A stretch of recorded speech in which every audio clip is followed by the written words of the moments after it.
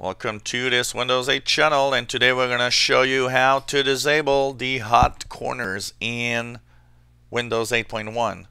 If you are not using a touch device, um, one of the things that might be a problem for you is always having to deal that with the fact that sometimes when you put your mouse pointer in the upper right, upper left corner, you get, you know, the charms bar, you get the app bar when many apps are open. So for example, if I uh, uh, let's say go here, I open the uh, weather app and uh, now I have also Google Chrome open. So what happens is uh, if I go in the upper left, I get the uh, app bar. I go in the upper right, I get the charms bar. And sometimes they're a nuisance because you want to go, for example, in the menu where it happens sometimes, and actually did happen a few times to me, was uh, going a little too fast to get that little back button, for example, in the Internet Explorer, and I, I, I stumbled upon this app bar, and I don't want it, and I have to move back and go back on, or you want to close the window, and you just go a little too far, and you finally have the charms, and you're like, you have to go back. So, you know, it gets annoying. If you're not using those options, you know, it doesn't prevent you from using the charms bar, for example, as you can uh, actually go and get it anyway with you know just a keystroke um, with the Windows C um, combination.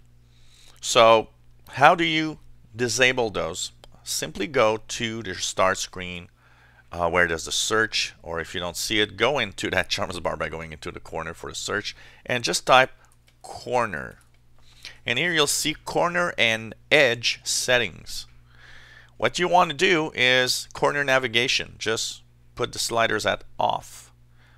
When I point to the upper right corner, show charms. When I click uh, the upper left corner, switch between recent apps and so on, you can, of course, um, just put these at off, which will actually now disable the charms bar. As you see, if I go in the corner here, I don't have anything anymore and um, if I open many multiple windows and uh, apps you'll see that the uh, app bar on the left is not there anymore either. So nothing happens no more. And you are free to use your apps and programs as you want. So quite easy to do. If you are annoyed by the charms and the app bar that's the way to do it. Uh, just go like I said into search um, either on the start screen, clicking your search, or um, you know going to the charms bar with the corner or um, Windows C on your keyboard.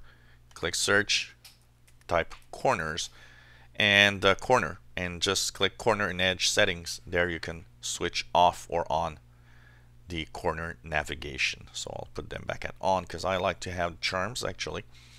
Uh, they don't annoy me that much, but a lot of people have been asking me, is there a way to turn that off? And this is how you do it. If you enjoy our videos, why not subscribe to our channel? You'll be informed when new videos are online. If you have any comments, questions, a problem with Windows, why not ask away? Me or maybe someone else will help you. And uh, maybe we'll do a video and help others at the same time. Thank you for watching.